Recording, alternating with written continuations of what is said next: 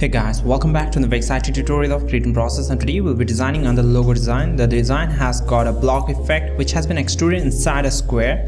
The square has got rounded corner and nice shadow. So to design this logo we'll first use the rectangle tool and create out the basic shape. Then with the help of shape tool we'll extract out these unwanted pieces.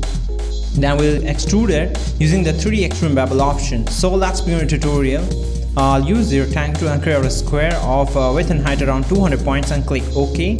Now once you have created that, uh, we'll change the stroke uh, fill to stroke uh, color like that and remove the fill color. Now go to stroke, uh, align the stroke to inside and let's increase the stroke thickness to around 40. Let's check it out.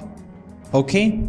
Now I'll place it here and next thing is I'll just uh, draw one more line segment. So from the middle here intersection just click and drag and create on the line segment here like that.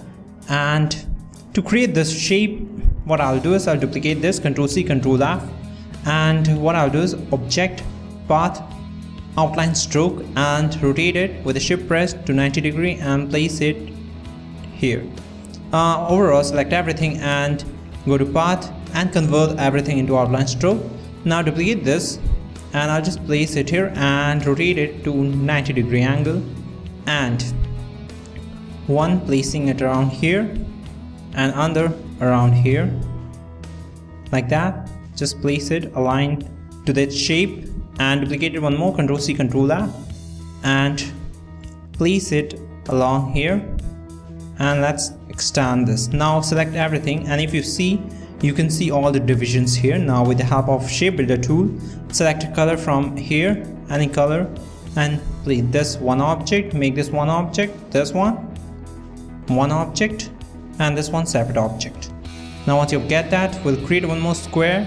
So I'll just click and drag and create a square like this and fill that up with certain different color like gray and what I'll do is arrange center back select that this this this and just drag it out somewhere here. And select everything rest and delete it out. Now place this here and let's do next stuff. I'll just arrange it to front here.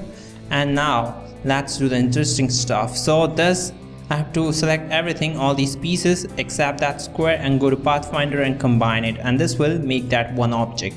Now select both the object go to effect 3d extrude bevel option.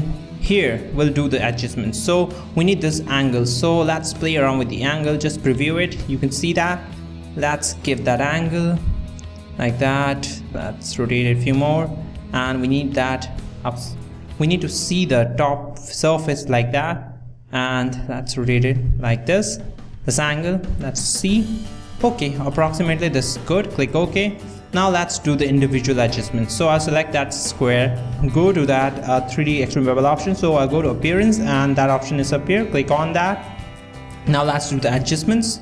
So I'll just remove the extrude depth to zero and click OK. In the same way, I'll just make it zero and click OK.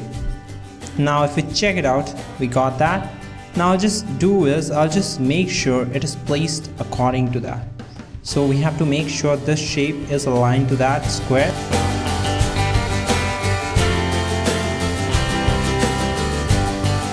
Now let's see. Uh, okay I think the depth is nice. Everything is nice. Let's play around with the perspective. So select this go inside that preview it and let's increase the perspective to 50 and check it out. Okay this is good. Uh, this one also we can just go in there and let's make it 50 degree perspective check it out. It's aligned automatically aligned. Now let's do select all these go to object expand appearance object expand. So this will convert that everything into object forms separate object forms first of all ungroup everything. Now select these pieces the top pieces.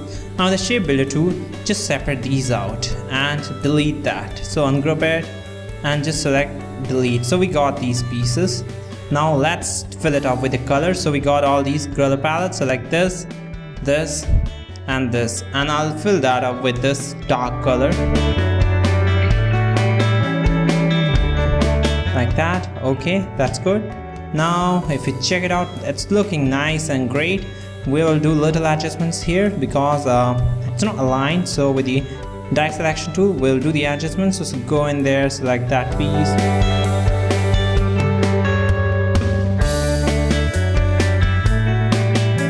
Just go there and just, just play around with all these vertices and you'll get a great design. Now once you have done that if you check it out it's done. Let's make this scope. So to do that I'll just use the direct selection to select this point and just you'll see that's the round round circle. Just click and drag it and you create that nice round effect. This feature is available in Adobe Illustrator CC uh, so you can use that. But if you're using the previous version you have to go in there and tweak the vertices. Now let's create that shadow. So I'll use the ellipse tool and create out a circle here like that. And I'll just apply this color. So with the eye picker with the shift and alt press just click that. And G for gradient bring it to the center. Uh, we'll just rotate it. Just make it from that center and squeeze this like that. And if you check it out it's looking great. Now let's see. Let's place it. We can just extend this a little bit and place it in the proper place. Arrange uh, send backward. Control open square bracket. It will send it to backward like that. Now okay everything is great. You can do little adjustments here. So with the gradient tool selected just do the adjustments. You want some dark like that do that. Now finally let's add up the text. So T B L O C K block. And the font which I'm using here is Pro I don't know which language is that but this font was looking great so I used that. Uh, will reduce the font size to around 12 and go to character and give some uh, gap between the alphabets around 550 okay and just place it according to the alignment like that. And if you check it out we have completed our logo we have completed another very interesting design in a very unique and very uh, fast way.